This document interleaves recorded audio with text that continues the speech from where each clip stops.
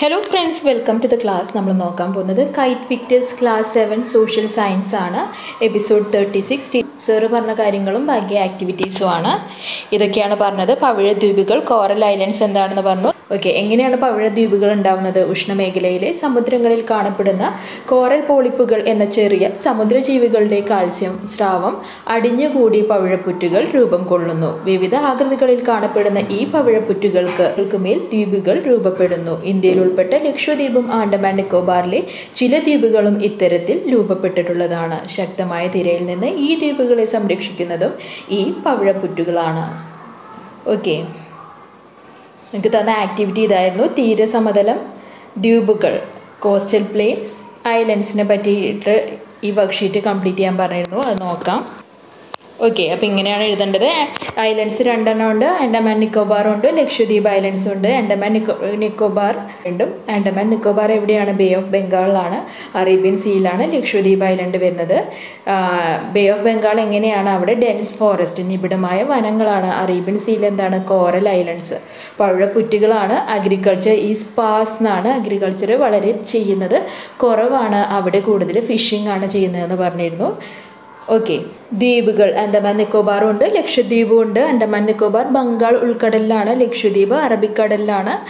ആൻഡമാൻ നിക്കോബാറിൽ നിബിഡമായ വനങ്ങളാണ് ലക്ഷദ്വീപിൽ പഴപ്പുറ്റുകളാണ് കൃഷി നാമമാത്രമാണ് ലക്ഷദ്വീപിനെ കമ്പയർ ചെയ്യുമ്പോൾ ആൻഡമാൻ നിക്കോബാറിൽ കുറച്ചും കൂടി കൃഷി ചെയ്യുന്നുണ്ടെന്ന് നമുക്ക് വേണമെങ്കിൽ എഴുതാം. ഓക്കെ നെക്സ്റ്റ് വരുന്നത് കോസ്റ്റൽ പ്ലെയിൻസ് ആണ്. കോസ്റ്റൽ പ്ലെയിൻസിനും രണ്ടായിട്ട് ഡിവൈഡ് ചെയ്യുന്നുണ്ട്. ഈസ്റ്റേൺ കോസ്റ്റും ഉണ്ട് വെസ്റ്റേൺ കോസ്റ്റും ഉണ്ട്. ഓക്കെ. ഈസ്റ്റേൺ കോസ്റ്റ് ബ്രോഡാണ് വെസ്റ്റേൺ കോസ്റ്റ് നാരോ ആണ്. ബ്രോഡ് എന്ന് പറഞ്ഞാൽ വീതി കൂടുതൽ നേരം എന്ന് പറഞ്ഞാൽ വീതി കുറവ് എന്നാണ്. പിന്നെ എന്താണ് ഈസ്റ്റേൺ കോസ്റ്റിൽ പ്രധാനമായി ചെയ്യുന്നത്? ഫിഷിംഗ് മത്സ്യബന്ധനമാണ്. വെസ്റ്റേൺ കോസ്റ്റിൽ ചെയ്യുന്നത് പാഡിയാണ് നെൽകൃഷിയാണ്.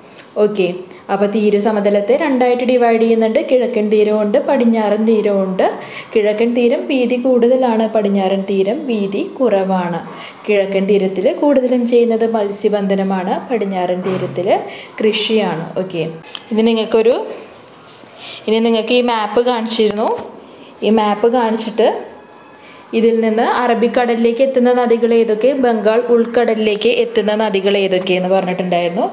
ഇത് ശ്രദ്ധിച്ചു നോക്കിയാൽ അറിയാം എവിടെയാണ് നർമ്മദ താപ്തി. ആ ലെഫ്റ്റ് സൈഡിൽ കാണിച്ചിട്ടുള്ളതൊക്കെ ഒഴുകുന്നത് എവിടേക്കാണ് ബംഗാൾ ഉൾക്കടലിന്റെ അവിടേക്കാണ്. അപ്പോൾ ബംഗാൾ ഉൾക്കടലിൽ എത്തുന്ന നദികൾ ഏതൊക്കെയാവും? നർമ്മദയും താപ്തിയാവും. അറബിക്കടലിലേക്ക് ഒഴുകുന്ന നദികൾ നോക്കൂ. മഹാനദി ഗോദാവരി കൃഷ്ണ കാവേരി ഇതൊക്കെയാണ് അറബിക്കടലിലേക്ക് ഒഴുകുന്ന നദികൾ. ഇങ്ങനെ എഴുതാൻ നമുക്ക് ആൻസർ നർമ്മദ താപ്തിയാണ് അറബിക്കടലിലേക്ക് ഒഴുകുന്ന നദികൾ. മഹാനദി ഗോദാവരി കൃഷ്ണ കാവേരിയാണ് ബേ ഓഫ് ബംഗാളിലേക്ക് ഒഴുകുന്ന നദികൾ. ഓക്കെ നർമ്മദ താപ്തി അറബിക്കടലിൽ ചേരുന്നവയാണ്. ബംഗാൾ ഉൾക്കടലിൽ ചേരുന്നവ മഹാനദി ഗോദാവരി കൃഷ്ണ കാവേരിയാണ്. പിന്നെ നിങ്ങൾക്ക് രണ്ട് ക്വസ്റ്റ്യനും കൂടി ആക്ടിവിറ്റി തന്നിരുന്നു. To which coastal plain of India does the coast of Kerala belong mention the general features of this coastal plain Kerala തീരം ഇന്ത്യയിലെ ഏത് തീര സമതലത്തിൽ ഉൾപ്പെടുന്നതാണ്? ഈ തീര സമതലത്തിന്റെ പൊതുവായ സവിശേഷതകൾ എന്തെല്ലാം? കേരള ഏത് കോസ്റ്റൽ പ്ലെയിനിന്റെ ഭാഗമാണ്? കേരള വെസ്റ്റേൺ കോസ്റ്റൽ പ്ലെയിനിന്റെ ഭാഗമാണ്. Okay Kerala is a part of western coastal plain okay western coastal plain എങ്ങനെയാണ്? അതിന്റെ ഫീച്ചേഴ്സ് എന്തൊക്കെയാണെന്ന് കൊടുക്കാം. The western coastal plain is narrow അല്ലേ? അത് നാരോ ആണെന്ന് കൊടുക്കാം. അതായത് അതിന് വീതി കുറവാണ്. There are several backwaters on the Kerala coast which is a part of this plain കുറേ ബാക്ക് വാട്ടേഴ്സ് ഉണ്ട്. പിന്നെ എന്താണ്? Paddy and coconut are the major crops along the western coast അവിടെ കൃഷി ചെയ്യുന്നത് കൂടുതലും നെല്ലും അതുപോലെ തന്നെ തെങ്ങുമാണ്. Okay okay. അപ്പോൾ കേരളം പടിഞ്ഞാറൻ തീരസമതലത്തിന്റെ ഭാഗമാണ് എന്ന് എഴുതുക. പിന്നെ എന്ത് എഴുതണം? പിന്നെ എന്തൊക്കെ എഴുതാം? അതിന്റെ ഫീച്ചേഴ്സ് എന്തൊക്കെയാണ്? വീതി കിഴക്കൻ തീരത്തെ അപേക്ഷിച്ച് കുറവാണ്. ഈ സമതലത്തിന്റെ ഭാഗമായ കേരളത്തിന് നിരവധി കായലുകളുണ്ട്. നെല്ല് തെങ്ങ് എന്നിവ പടിഞ്ഞാറൻ തീരത്തെ പ്രധാന കൃഷിവിളകളാണ്. എന്നുകൂടി നിങ്ങൾക്കതിന്റെ ഉത്തരത്തിൽ എഴുതാം. ഒരെണ്ണം കൂടി ചോദിച്ചിരുന്നു. Write any two features of peninsular plateau ഉപദ്വീപായ പീഠഭൂമിയുടെ ഏതെങ്കിലും രണ്ട് സവിശേഷതകൾ എഴുതുക.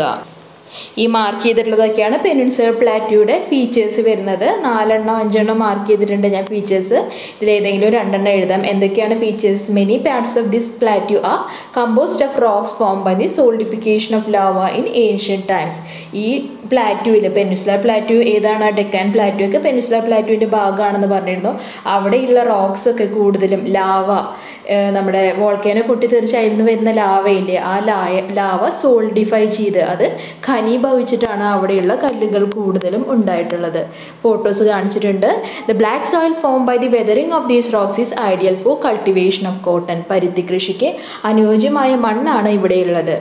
The major crops in the plateau region are cotton pulses ground sugarcane maize ragi and chilli okay അവിടുത്തെ പ്രധാന വിളകൾ ഏതൊക്കെയാണ്? പരുത്തി പൾസസ് ഗ്രൗണ്ട്നട്ട് ഷുഗർ കെയിൻ കരിമ്പ് മെയ്സ് റാഗി ഒക്കെ കൊടുത്തിട്ടുണ്ട്. Mining and mineral based industries are the chief sectors of occupation in this plateau അവിടെ കൂടുതൽ എന്താണ്? ഖനനവും അതുപോലെ തന്നെ മിനറൽ ബേസ്ഡ് ഇൻഡസ്ട്രീസുമാണ് കൂടുതൽ വരുന്നത്. അതുപോലെ തന്നെ it is rich in mineral deposit like അയണോ manganese bauxite and land stone അതിന്റെ സവിശേഷതകൾ നോക്കാം. ഈ പീഠഭൂമിയുടെ മിക്ക ഭാഗങ്ങളും പണ്ടെന്നോ ഒഴുകിപ്പരന്ന ലാവ തണുത്തുറഞ്ഞ് രൂപം കൊണ്ടിട്ടുള്ളതാണ്. ഇത് പൊടിഞ്ഞുണ്ടായ കറുത്ത മണ്ണ് പരുത്തി കൃഷിക്ക് ഏറെ അനുയോജ്യമാണ്. ഓക്കെ അതുപോലെ തന്നെ എന്തെഴുതാം? പരുത്തി പയർവർഗങ്ങൾ നിലക്കടല കരിമ്പ് ചോളം റാഗി മുളക് എന്നീ വിളകളാണ് പീഠഭൂമി പ്രദേശത്തെ പ്രധാന കൃഷി. കൽക്കരി ഇരുമ്പയിര് മാഗ്നീസ് ബോക്സൈഡ് ചുണ്ണാമ്പ് കല്ല് തുടങ്ങിയ ധാതു നിക്ഷേപങ്ങളും ഈ പീഠഭൂമിയിലുണ്ട്. ഓക്കെ. പിന്നെന്താണ്? ഖനനവും ധാതു അധിഷ്ഠിതമായ വ്യവസായങ്ങളും ഇവിടെ ഒരു പ്രധാന തൊഴിൽ മേഖലയാണ്. അപ്പോൾ ഇതിലേതെങ്കിലും രണ്ടെണ്ണം നിങ്ങൾക്ക് ഫീച്ചേഴ്സായിട്ട് ആയിട്ട് എടുത്തെഴുതാവുന്നതാണ് ഓക്കെ.